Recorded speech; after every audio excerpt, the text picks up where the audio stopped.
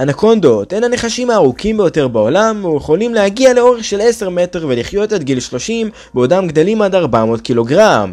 נחשים אלה מאכלסים ביצות בתוך יערות הגשם של האמזונס, שם הם ממתינים לטרף תמים. אנקונדות יכולות לנוע במהירות ולסלול סביב בעלי חיים גדולים וקטנים כאחד.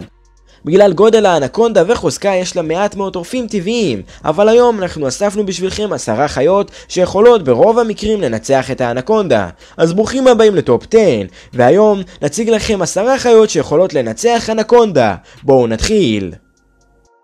במקום העשירי, פיראנה. הפיראנה היא הדג הטורף המאוד מסוכן. הם בעלי חוש ריח מדהים שיכול לארח טיפה דם ממרחק של יותר מקילומטר. הפיראנה לא תוקפת בדרך כלל בני אדם, אבל את האנקונדות, היא כבר אויבת שלהם. האנקונדה היא נחש שחי בעיקר במים, אז טורפים ימים אחרים עלולים לטרוף אנקונדות חלשות יותר, כגון נחשים מבוגרים או חולים.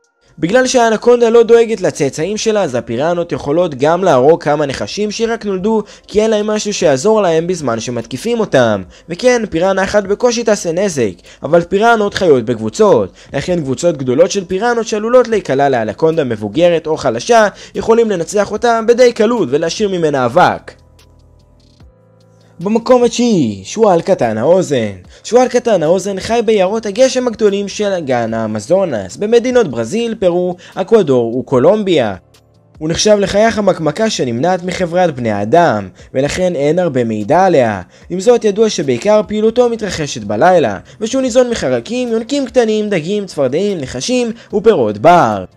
ולמרות שבקרב נגד נחש אנקונדה בוגר באורך של עשרה מטרים הוא לא ינצח, אבל הם איום גדול מאוד לאנקונדות, וזה בגלל שהם טורפים את הנחשים היותר צעירים. הוא מגיע לאורך של מטר והוא יכול לנצח אנקונדה באורך של אפילו 4 מטר. במקום השמיני, קיימן. קיימנים הקיימנים הם בני המשפחה הקטנים יותר של משפחת התננים שחיים באמזונס בדרום ומרכז אמריקה. ולמרות שהם קטנים יותר מתננים, הם עדיין עשויים גם לטרוף אנקונדות שהם באורך של 2 5 מטר. כמו כן, הקיימנים גם יכולים לנצח אנקונדות שהן זקנות או שהן חלשות יותר מאנקונדות שהגיעו כבר לגיל הבגרות. אבל מה קורה אם הנחש הזה באורך של 6 עד 10 מטרים? אם הנחש הגיע לגיל הבגרות שבו הוא באורך כזה, האנקונדה תהיה המנצחת. כי באמזון הזה ידוע שהיא טורפת את הקיימן בגלל שהיא בקלות יכולה לארוב לו בזמן שהוא ביבשה, ואז היא תתלפף סביבו ותחנוק אותו למוות. במקום השביעי, הקונדור. למרות שהקונדור כבר לא חי באמזונס, אם הוא היה חי שם כנראה שהוא היה מנצח בכמעט כל מצב וזה למה. הקונדור הוא הציפור הטורפת הכי גדולה בעולם, אפילו יותר מהנשר עם אורך כנפיים של 3 מטר. האנקונדה חיה בשפת הנהר כדי לארוב לטרף שהוא רוצה לשתות. הקונדור יכול להרים בזמן תעופה איילים, חזירים וגם תנינים קטנים. ולמרות האורך של האנקונדה, המשקל שלה לא כל כך תואם את האורך. ולמרות שיש אנקונדות שהן מגיעות לאורך של עשרה מטרים, אבל הנחש הכי כבד שמצאו היה במשקל של 400 קילו. אז במידה והקונדור ימצא אותו ליד שפת הנחל או שוכב על האדמה, הוא יוכל להרים אותו ואז אחרי גובה מסוים פשוט לזרוק אותו וככה הוא ימות.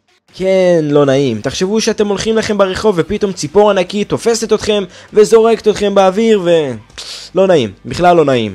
אבל אני די בטוח במאה אחוז שאין כאלה ציפורים פה בארץ, וגם אם כן, הסיכויים שזה יקרה ממש, אבל ממש נמוכים, אם לא אפסיים. במקום השישי, הטיגריס. הטיגריס הוא החתול הטבעי הגדול ביותר בעולם. הוא יכול להגיע לאורך של 3.5 מטר, ומגיע למשקל של עד 300 קילוגרם, אבל אל תחשבו שהוא איטי. הטיגריס יכול להגיע למהירות של עד 75 קמ"ש, ולזנק בקלות למרחק של 10 מטרים.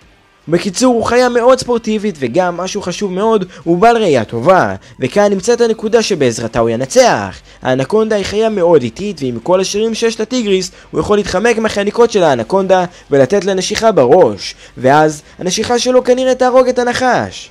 אז האנקונדה צריכה לעשות מהלך ממש חכם בשביל לנצח את הטיגריס. במקום החמישי, תנין. כן, גם תנינים נכנסו לרשימה. למרות שהקיימן הוא קרוב של התנין, עדיין יש הבדל גדול בין אנקונדה שנלחמת בתנין מאשר בקיימן. האנקונדה חיה בבית גידול ימי, ובשחייה היא פגיעה לתנינים. אומנם ניתן לנקוד דגימות צעירות יותר ולאכול אותן על ידי תנין בכל גודל, אך ככל שהאנקונדה מתבגרת, היא גדלה. נחש גדול ניתן לנקוט ולאכול רק על ידי תנין גדול, וזה ההבדל בין שניהם. תנין הים הוא התנין הגדול ביותר שחי בעולם, הוא יכול להגיע לאורך של 7 מטרים, בזמן שהקיימן מגיע לאורך של 3. התנין מגיע לאורך של פי 2 ממנו, ולכן התנין היה מסוגל לנצח אנקונדה גדולה יותר מהקיימן. במקום הרביעי, קרנף. הקרנף הוא חיה שחיה באסיה ובאפריקה ולא באמזונס, אבל אם ישימו אותו ואנקונדה לא משנה באיזה גודל, הקרנף ינצח וזה למה. לקרנף יש חוש ריח ושמיעה טובה מאוד, אבל אין לו חוש ראייה טוב. אבל בכל זאת, הוא יודע שהנחש מתקרב, וגם הקרנף עצמו כל כך גדול, שהנחש לא יכול לחנוק אותו, וזה בגלל שגם הנחש באורך של עשרה מטרים יכול להתלופף מסביבו רק פעמיים. אבל בגלל הכוח של הקרנף, הוא לא יושפע מזה בכלל, וגם הקרנף יכול להשתמש בקרן שלו בשביל לפגוע באנקונדה, כי היא לא ארסית, ואז אם היא תנשך אותו, שכבת האור והשומן שלו יגנו עליו מפני הנשיכה, כך שלא תגיע לשרירים של הקרנף, כי אם היא תגיע זה יכול לגרום לקרנף אסון בריאותי גדול מאוד. אז הסיכויים של האנקונדה לנצח את הקרנף יהיו ממש נמוכים או אפילו אפסיים. כי בואו נגיד שהוא משוריין והוא די ענק אז הוא יכול למחוץ אותה או אפילו להשתמש בקרן בשביל לפגוע בה. במקום השלישי, פיל. הפיל כמו הקרנף הוא חיה שחיה באסיה ובאפריקה ולא באמזונס. אבל אם ישימו אותו והאנקונדה לא משנה באיזה גודל גם הפיל ינצח וזה בגלל שני דברים אחד זה בגלל שכמו הקרנף, הפיל עצמו כל כך גדול שלנחש יהיה ממש קשה לחנוק אותו, וזה בגלל גם שהוא באורך של רק עשרה מטרים, אז הוא יכול להקיף אותו פעם אחת וזה בקושי יספיק, וזה בגלל שהקוטר של הפיל יכול להגיע לארבעה מטרים, ולאחר חישוב קטן של הפיל, ובזה בעצם 12 מטר, והנחש לא מספיק ארוך. והסיבה השנייה היא שבגלל שהפיל כל כך כבד, הוא יכול פשוט לדרוך על הראש של הנחש, והנחש ימות ברגע אחד.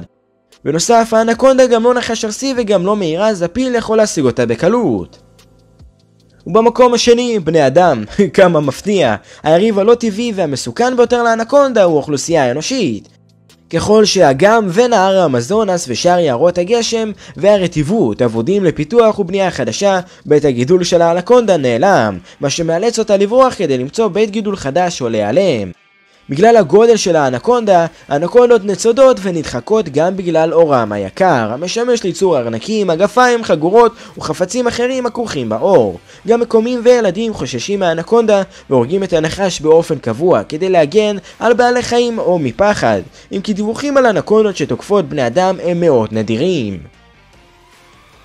במקום הראשון, היגואר היגואר הוא היונק הגדול ביותר בדרום אמריקה, שהוא גדל עד 250 קילוגרם.